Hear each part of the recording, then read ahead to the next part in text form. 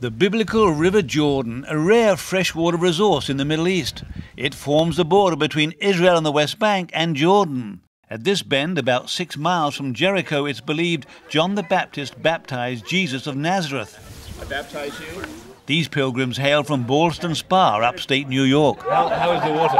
It's cold. and shallow too.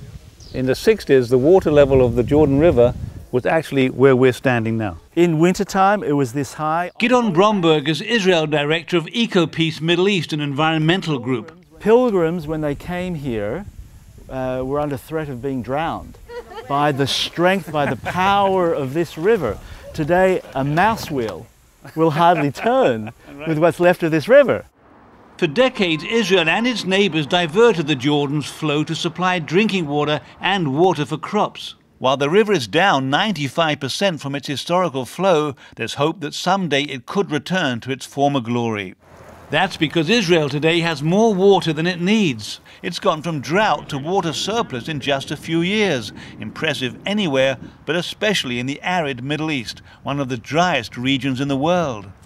For years, Israel's Water Authority ran public service TV ads like this one. Israel's drying up, she says, as her face begins to crack. Save water. Now the ads have been discontinued, not needed anymore. Through a combination of recycling, conservation, and most recently, desalination technology, removing salt from salt water, Israel not only has plenty to drink, but potentially plenty to share. And that could be good news for easing tensions in a region where water is often the source of conflict. Israel is already easily the world leader in water reuse, far outpacing the rest of the world, including the United States. Across Israel, plants like this one in the desert town of Rahat treat wastewater instead of letting it go to waste. So-called grey water from the kitchen and bathroom as well as black water from sewage is filtered, cleaned and reused for irrigation. It's a perfect little recycling ecosystem. The waste from the people of Rahat over there is treated here and then used to irrigate the fields nearby. But the real leap forward has been in desalination technology, vastly improving Israel's ability to turn salty water into fresh drinking water. In 10 years, Israel has built five desalination plants along its Mediterranean coast. In Ashkelon, Ashdod, Sorek, Palmachim, and Hadera. Each cost around $400 million. They're privately owned and sell their water to the government, which sells it on to the people.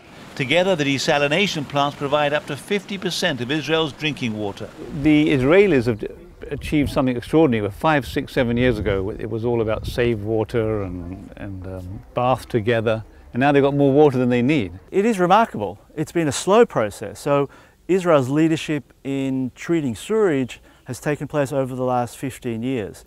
The breakthrough has been in the development of membrane technology uh, for desalination because that, that, that, that uh, breakthrough in technology dramatically reduced the cost of desalinating seawater. From to, about $1 a cubic meter to about 40 cents. Exactly, to, to less than half the cost 10 miles south of Tel Aviv, the Sorek plant, open only 18 months, calls itself the world's biggest seawater desalination plant of its kind. It can produce more than 600,000 cubic meters of drinking water a day, enough for one and a half million people, almost a fifth of Israel's population.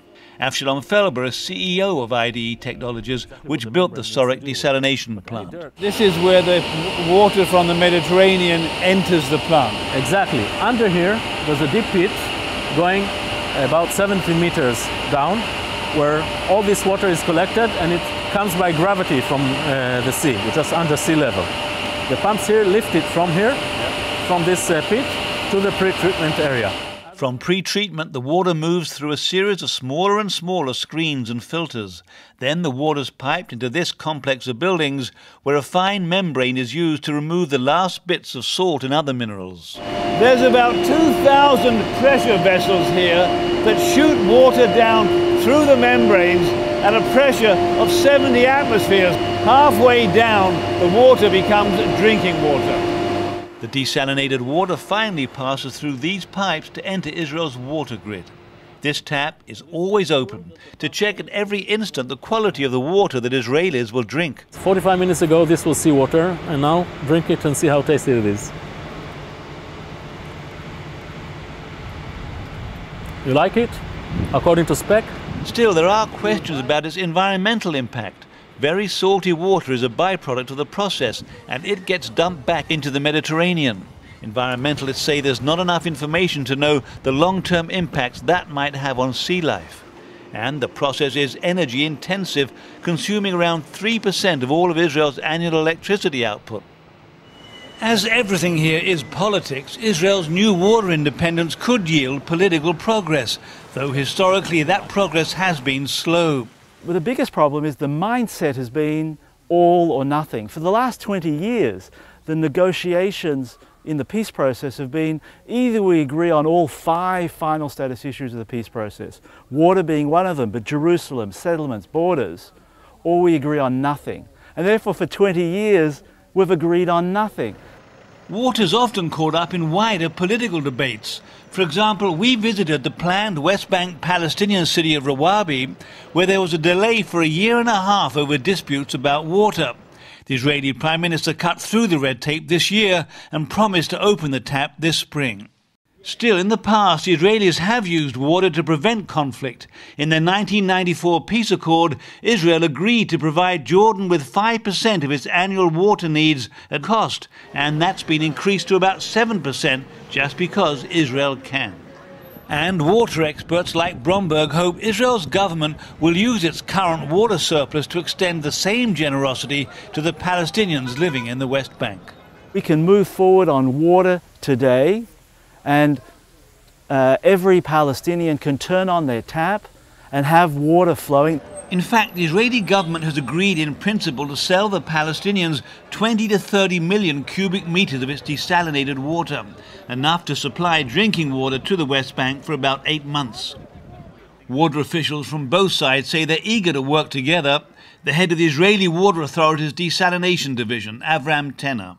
We, as the water people, we do speak together. We don't wait to have committees to meet together. We meet many times, even during all kinds of wars, all kinds of uh, conflicts that we have with them. Water people are talking all the time, meeting all the time, and sharing information all the time. Palestinian Water Minister Mazen Ghanem. We have uh, nothing against the Israeli side. What we want exactly, just to uh, to help our people. Today, Israel's challenge is to do all it can to secure its water independence and to use that independence to build bridges with its neighbors.